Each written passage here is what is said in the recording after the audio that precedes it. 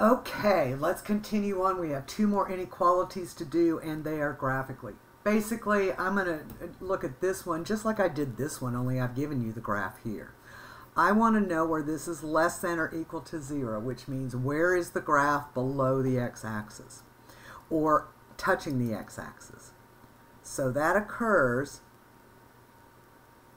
from negative infinity to negative 5 and then from 0 to 3. So this would be negative infinity to negative 5 including the endpoint and 0 to 3.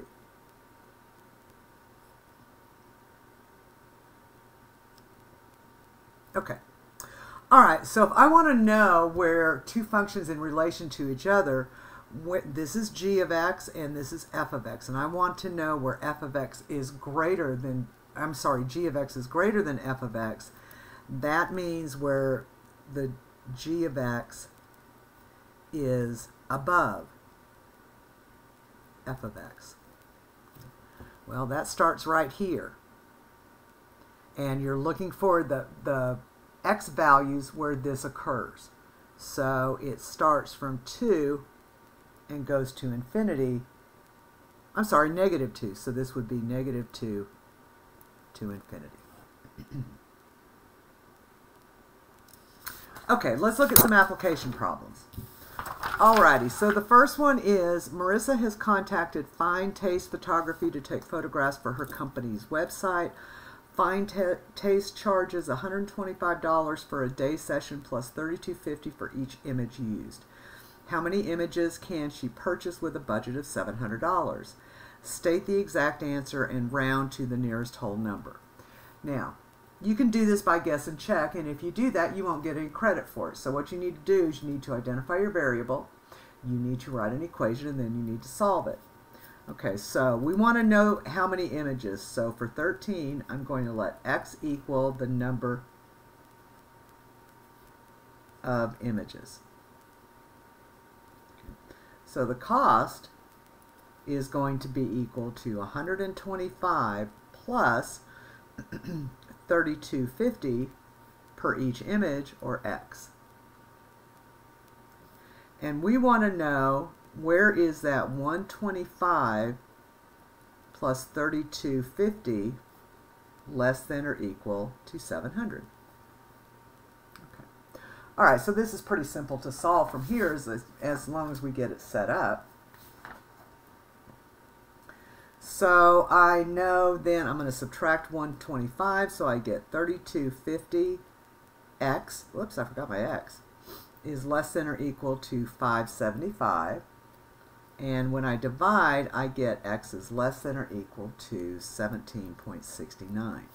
Well, they're not going to let you buy a piece of an image, so if you round up to 18, which is the nearest, that's going to take you over the $700, so we're going to have to say 17 images. She'll have a few dollars left over. Maybe she can go to uh, Starbucks or something on her way home. Okay, so let's see what it says for the next one. On number 14, the height of a penny after it is dropped is given by an equation. And so the first time thing we want to know so let's see on 14, let's see if you can actually read all this. Okay, so we know that h of t is equal to 100 minus 16t squared. Okay, so she's on top of a building and she drops a penny. And this is time, and then of course this is the height. This is our t, and this is our h of t. So what's going to happen is over time, it's going to fall in a parabola. Okay, so how much time will pass before it reaches a height of 84 feet? So this is 100 feet. And so now we want to know what is t when h is 84.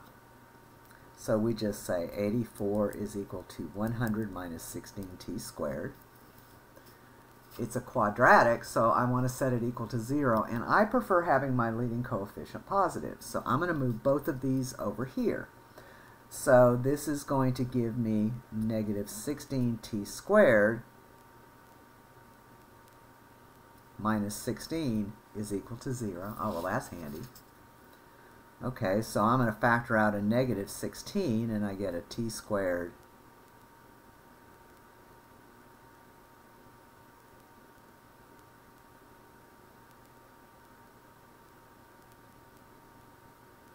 Oh, I'm sorry, that's a positive 16. t squared minus 1. I knew something was wrong there. Okay, so this, of course, factors into t plus 1 times t minus 1. So this tells me that t is negative 1 and t is 1. Well, of course, you can't go backwards. So you can't have a negative 1 second. So at 1 second, the height is 84 feet. So that's part A. Okay, then for part B, we want to know what is t when it hits the ground. Okay, so that means when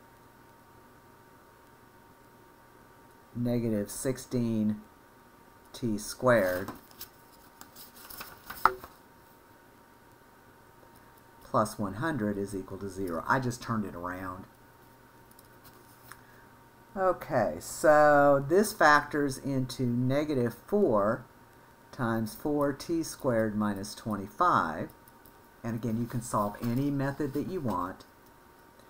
This is negative 4, and this is a difference of squares, so that's 2t plus 5. 2t minus 5 is equal to 0. So here t is negative 5 halves, and here t is positive 5 halves. Again, no negative, so it's going to be 5 halves or 2.5 seconds. This is 1 second.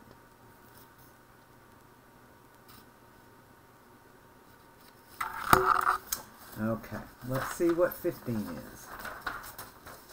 Alright, I think I'm going to go to a new page on this one because this one's going to require a little bit of work. Alright, so let's do number 15.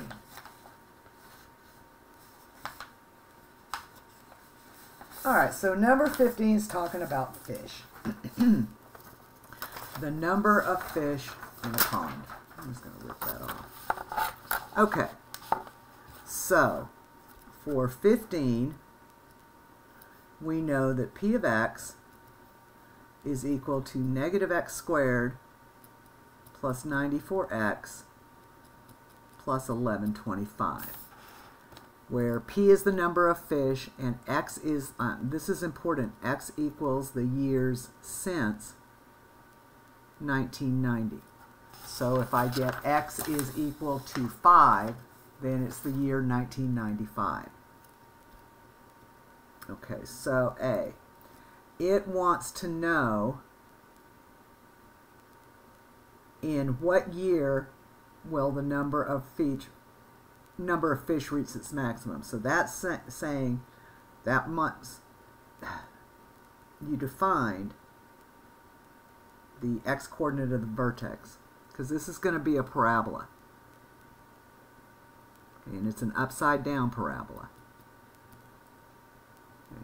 So this is x and this is p of x where it is a maximum. Okay.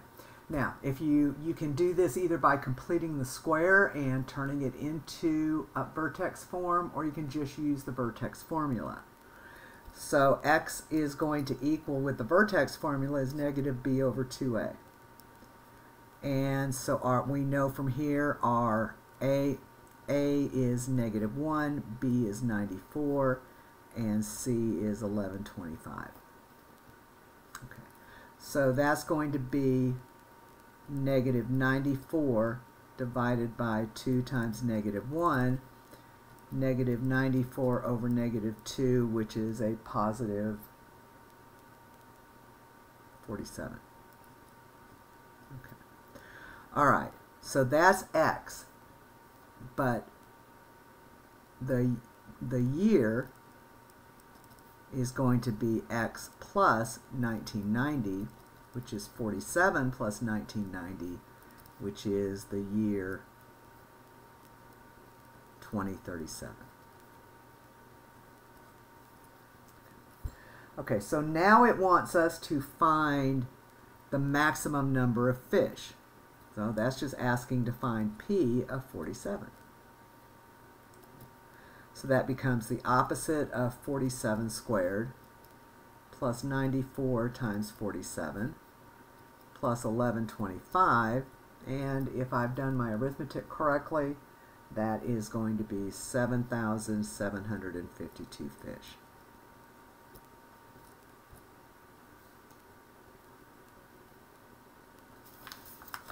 Okay.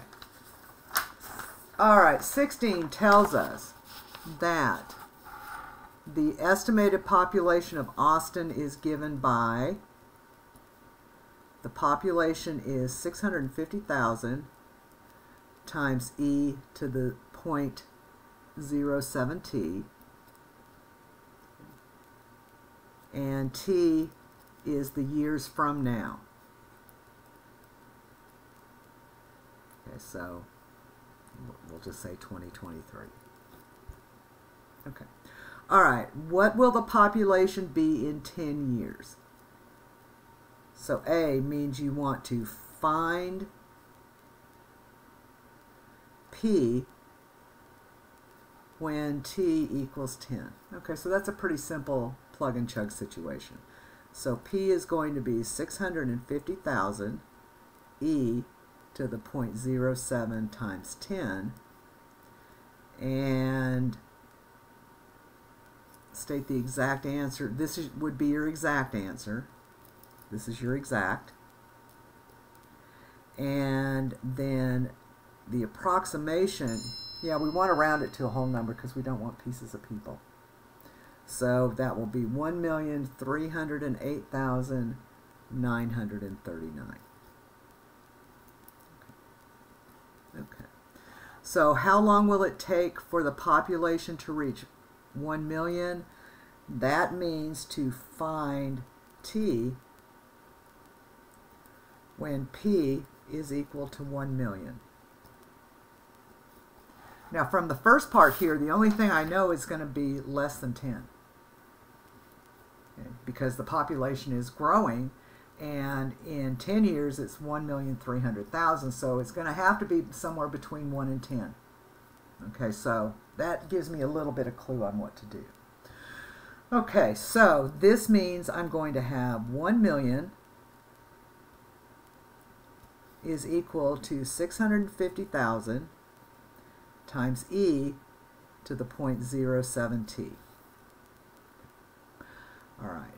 Now, I've got to get this out of the exponent, so what I'm going to have to do is isolate this and then take the natural log of both sides.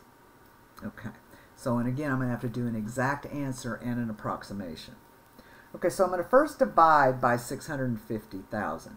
So this gives me 1 million divided by 650,000 is equal to e to the 0.07t.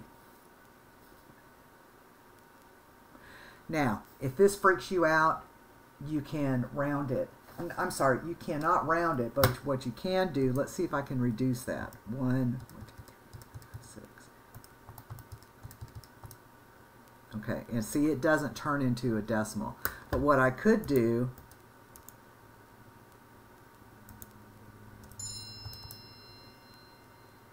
whoops,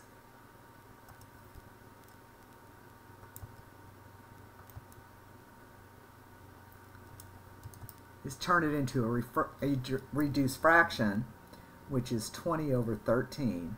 But you don't have to, you'll get the same answer. 0.07t.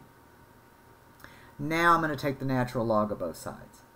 Well, I know from the earlier problem that we did that the natural log of 20 over 13 is equal to the natural log of e to the 0.07t. So the natural log of 20 over 13 is equal to 0.07t. So I'm going to divide both sides by 0.07, so that's the natural log of 20 over 13 divided by 0.07. That is the exact. And then if I want to put that in my calculator, it comes out to approximately 6.15 or 6 years. It doesn't ask in what year, it says in how many years will that happen.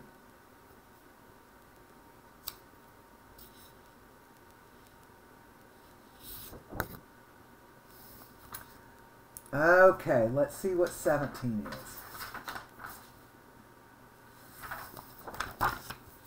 All right, 17. It gives us a formula on 17.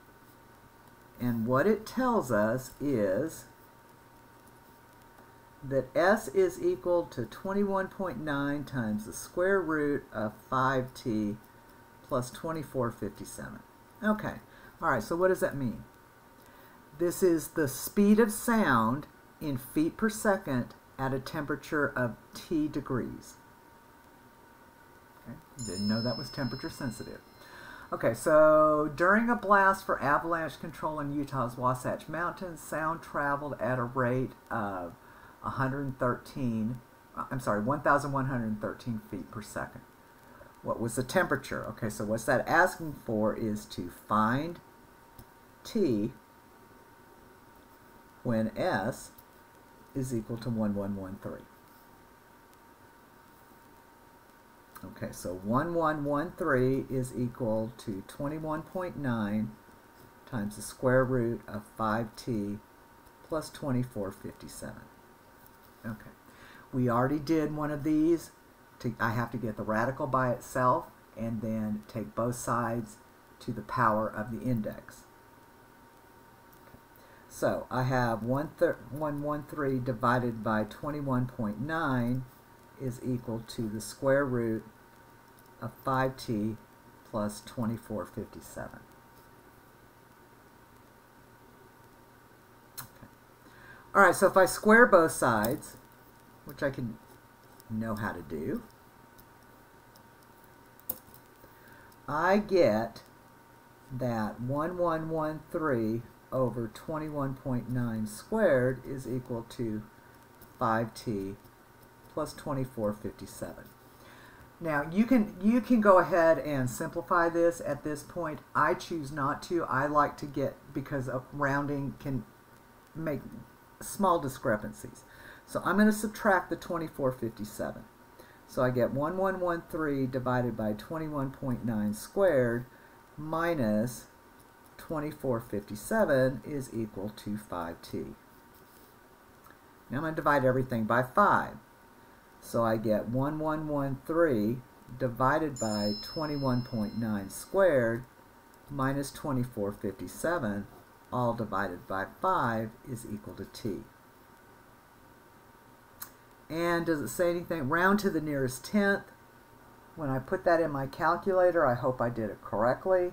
I get 25.2 degrees Fahrenheit.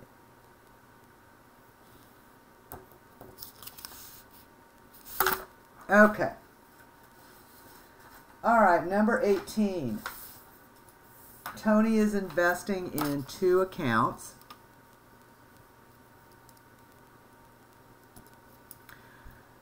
One pays 3.5% interest and the other pays 4.5% interest. He earns a total of $375 in interest in one year. How much did he invest in each account? Okay, if you have a problem like this, once again, if you solve it by guess and check, you will get no credit. You will have to set up, and the instructions on the test will tell you, set up an equation, identify your variables, and solve it. Okay, so I'm going to let x equal the amount at 3.5% and y equal the amount at 4.5%. So we've got to do two equations dealing with the x and the y. Well, I know the total money, the total investment, equals $10,000. So that tells me that the amount in X plus the amount in Y is equal to $10,000. I also know that the total interest, whoops, I'm so bad about this on the document camera. The total interest is $375. So that tells me the interest from this, which is 0.035x, plus the interest from y, which is 0.045y, is equal to 375. Okay, so here are your two equations. You can solve them any way you want. I see them all lined up. You can do this as a matrix. You can do it by substitution. You can do it by addition. I'm going to do it by addition. So if I multiply this by negative 0.035, the x's will be eliminated. So this becomes negative 0.035x whoops, minus 0.035y is equal to negative 350. Okay, so that's eliminated. So you're left with 0.010y is equal to 25. And when you divide, you get y is 2500. Well, and you subtract that from 1,000 and you get that x is 7,500. Now, you can leave it just like that because you've identified your variables. x is the amount at 3.5%, so that's 7,500.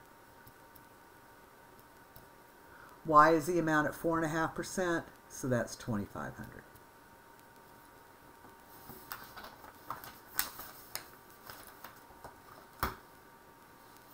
Okay, I think this is a good spot to quit and start a new video.